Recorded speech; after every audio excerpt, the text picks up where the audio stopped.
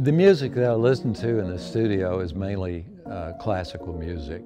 much like classical music, I think of my paintings. The word for it can't be expressed. You know, you can't say, okay, that classical piece of music was. It's very difficult to do. Looking at abstract paintings, it's very difficult to say, that painting is something that means this. Alrighty then.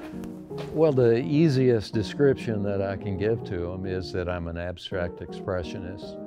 I'm not that far away from techniques that I used in the 60s where I was extremely adventuresome. I tried anything I could find. I suffered with depression as a young man.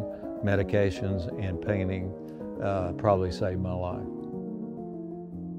My father was a sign painter who owned his own company, but he was an artist too. My father decided to retire. I took over the, the sign shop, and so I would use the sign shop as my studio as well as a, a, a place to work and earn a living for my family, which as an artist back in the late 50s, early 60s was almost impossible to do. And I couldn't do it. And I didn't know any other artists in Little Rock that could do it either. I consider the whole room my palette because I've got pieces, pieces all over the place that have been on other paintings and are free for me to use at, at, at any moment. And if I look at a spot and say, well, where might you fit?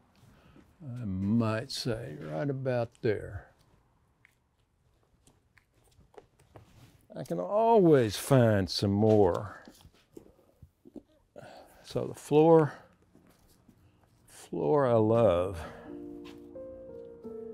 And sometimes the music, uh, it's like I feel a color uh, from the music say movie soundtracks, for example. Because of it, it's related to a movie, they might be seeing a, a ship out on the ocean going full blast with the wind blowing in the sails and they have just the right instruments, just like I might have the right colors. Uh, and it's, it's like feeling that. I can almost feel the breeze in my face as I'm putting on a particular color. You know, like when someone looks at my painting and says, well, what is it? You know, you say the same thing about the, the work of instrumental music. What is it? Well, it's music. Well, it's a painting. You know, it's like they're, they can be intertwined. My grandkids tell me what's in the painting. Uh, I've got one, the first people were my grandkids that said, that's a cow. You know, and I didn't see the cow. I didn't, I, I, had never seen the cow until that grandchild told me it was a cow. And, I, and that's all I can see when I look at it now.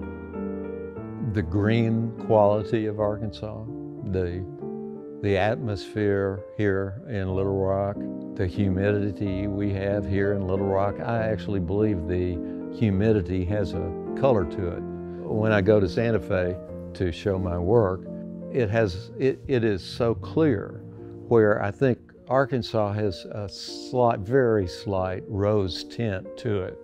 And there's something about that that I really like.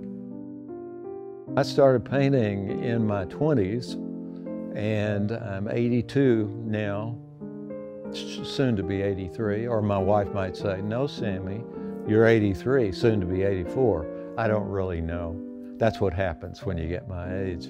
But yeah, I, I plan on painting as long as I can get in the studio and pick up the brushes, I'll, I'll be painting. My footing in life is better if I'm painting.